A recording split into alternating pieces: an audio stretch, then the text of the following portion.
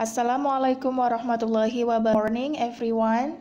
In this English lesson video, Happy Campers Unit 7, today is review our material from Unit 7. Now, review about vocabularies places in town first. Get ready, be focused, and listen carefully. Unit 7, Lesson 1, Activity 1. Listen, then echo. Vocabulary. Vocabulary. Vocabulary. Hospital. Hospital.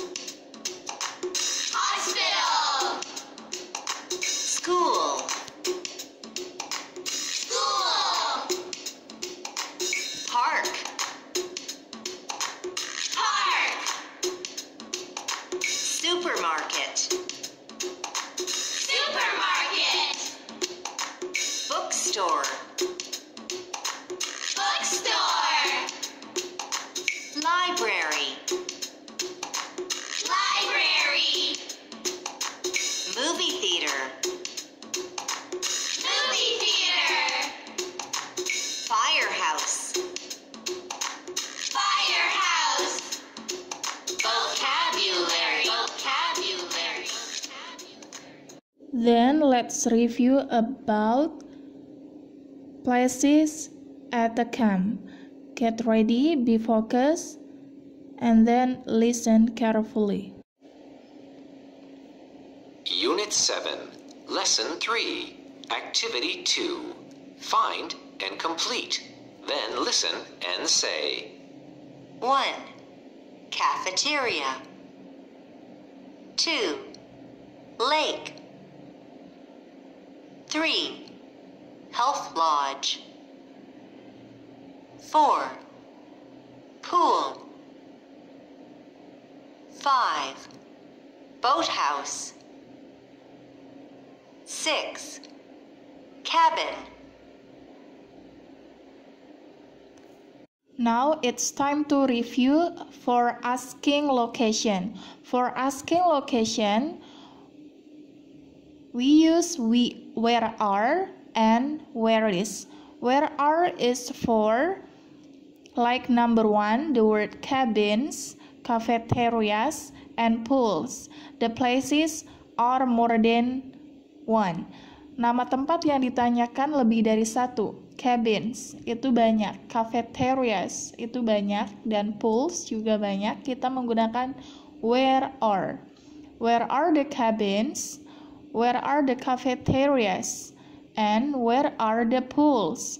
Sedangkan where is hanya untuk menanyakan tempat yang berjumlah satu, cabin, cafeteria, pool. A cabin, a cafeteria, a pool. Hanya satu. Tanpa ending S, tidak ada akhiran huruf S. Where is the cabin? Where is the cafeteria? Where is the pool? Oke, bisa dibedakan ya antara where are and where is. Dilihat dari nama tempat yang ditanyakan apakah berakhiran S atau tidak. Let's see here there are four questions about asking location number one blah blah blah the cabins. Kita menggunakan where are or where is. Look at the word cabins. Lihat pada kata cabins ending letter S berarti cabinsnya adalah more than one, lebih dari satu. So we use where are. Where are the cabins? Number two, blah blah blah the boat house. The boat house no ending S, tidak berakhiran letter S, so it's where is the boat house? Number three, blah blah blah the pool. In the word the pool, no ending S, tidak ada akhiran letter S, so we use where is the pool. Number four, blah blah blah the cafeterias.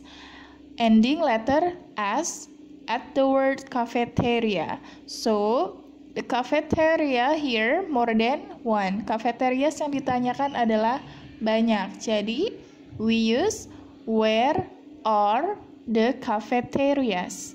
Oke, coba disimak kembali supaya lebih paham lagi. Now, preposition. Masih ingat preposition? Kata depan. This one for describing location. Yang pertama, first, next to. Next to means di samping. Next to artinya di samping. Sesuatu tempat di mana yang letaknya di samping, we say next to.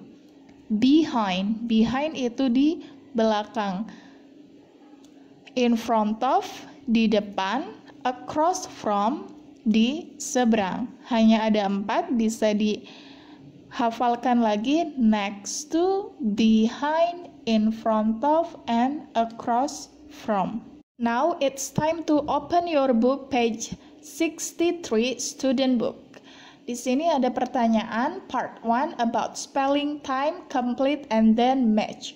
Berarti kalian harus melengkapi untuk menjadi satu kata yang tepat berdasarkan gambar. Nah, di situ ada empat gambar yang sudah adalah pool. Nah, ada tiga gambar lagi. Silahkan kalian cari gambar apakah itu dalam bahasa Inggris. Begins with letter C.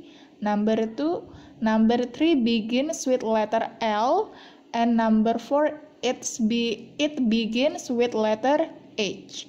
Nah, setelah kalian tulis, lalu kalian harus draw a line, tarik garis tulisan ke gambar seperti contoh di nomor 1. Like number 1, pull, tarik garis, draw a line to the picture of pull. Oke? Okay? Now part 2. Look and complete. Di sini ada bagaimana cara bertanya dan menjawab menggunakan preposition. Sebelum itu, coba kita lihat peta di atas. Nah, paling ujung, paling belakang, we have hospital. Kita lihat hospital. Di depan hospital, there is a movie theater. Di samping movie theater, we have supermarket. Di depan supermarket itu ada park, taman. Walaupun di situ ada jalan yang artinya seperti di seberang, di seberang pun benar, hanya saja soal question number 3 itu terdapat tiga garis, berarti dimaksud di situ adalah tamannya ada di depan supermarket. Nah, look at the question number one. Where bla bla bla the movie theater. Nah, untuk bertanya sebuah lokasi kita menggunakan where are or where is. Karena di sini tulisan the movie theater, theaternya di sini without ending s, tidak ada ending s, berarti kita menggunakan yang hanya berjumlah satu. Apakah itu where is atau where are? Nah, di sini untuk jawabannya ada tiga garis. Pertama yang harus kita kita ucapkan ketika kita menjawab adalah kata it's terlebih dahulu. Nah, where is the movie theater? Nah, berarti it's dulu baru bla bla bla bla bla bla. Coba dilihat dari petanya. Nah, question number 2 juga sama. Menggunakan apakah itu untuk melengkapi bagaimana cara bertanya? Nah, seperti ada di contohnya nomor 1. Nah, lalu jawabannya dilengkapi menggunakan kata depan apakah yang biasa kita ucapkan ketika kita menjawab suatu pertanyaan? Nomor tiganya pun sama bagaimana cara kita bertanya tentang lokasi bagian atasnya lalu bagian bawahnya adalah di situ preposition apakah yang harus ditulis dengan ada tiga huruf.